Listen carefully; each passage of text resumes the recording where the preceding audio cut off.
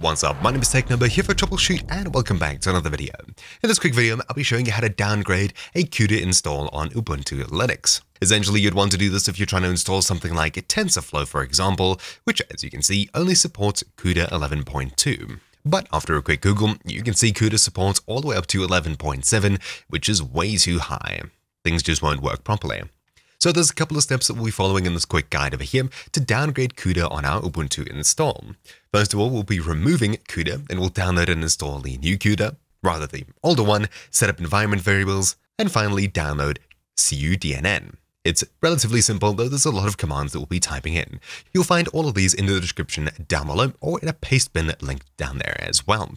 I'll let's start and open up the terminal first of all, and inside of here, we'll be typing in some commands. First of all, we'll be removing our existing CUDA. I'll copy and paste the commands from the description down below and hit enter, then enter my sudo password and hit Y, then enter to let it run through and remove all of our NVIDIA packages.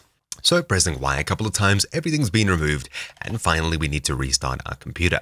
You can of course type in sudo reboot, or use the power button in the top right. For me, I'll be stopping my recording and entering sudo reboot. Now that we've restarted, inside of Ubuntu here, the first thing we'll be doing before we download a specific version of CUDA is make sure that we have Build Essentials downloaded and installed. You'll find this link in the description down below.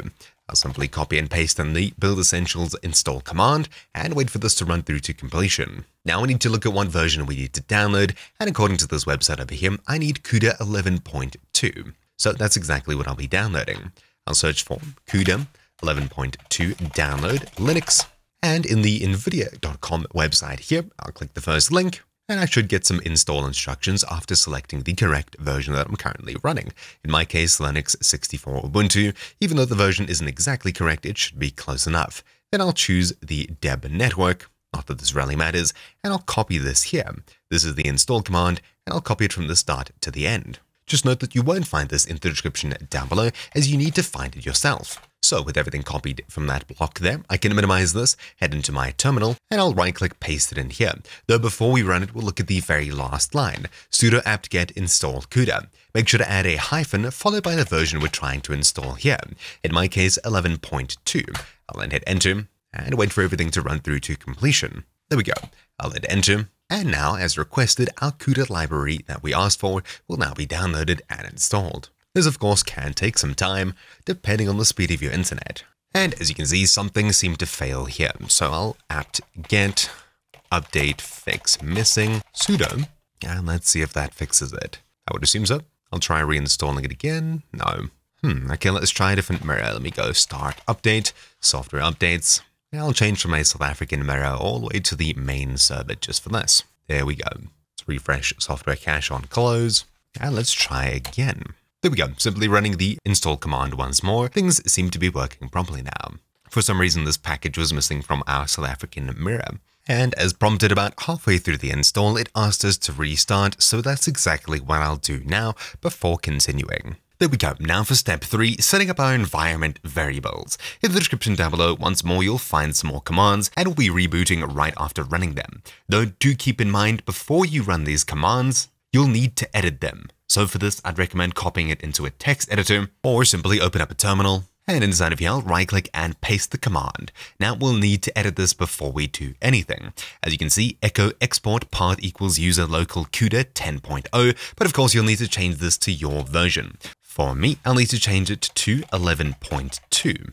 And I'll head all the way back to the previous line, 11.2. If you're not too sure of what you have, I'll create a new terminal, and inside of here, I'll type in cd slash user slash local and I'll ls to find the folders inside of it. We have CUDA 11.2, so that's the version I'll be entering in here, CUDA 11.2. Then I'll simply hit enter to run these commands and add CUDA to our environment variables, otherwise known as path. Now, once more, unsurprisingly, we'll be restarting our PC once more. Now we'll be downloading and installing CUDNN. So once again, I'll open up a new terminal, and inside of here we'll be running some commands, which you'll find down below. So first of all, we'll open up the CUDNN archive, which you'll find down below. Then I'll open up the one that relates to our current install that we want to get. So inside of here, all we need to do is hit Control F, search for 11.2, which is our version, find the latest one, expand it, and then click the Linux x86 64 download link. You may be asked to sign in. If you are, simply sign in with your NVIDIA credentials, and we can then download it to our computer. So I'll click Save here.